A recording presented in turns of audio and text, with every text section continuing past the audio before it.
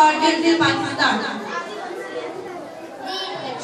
clapping करें आप लोग सर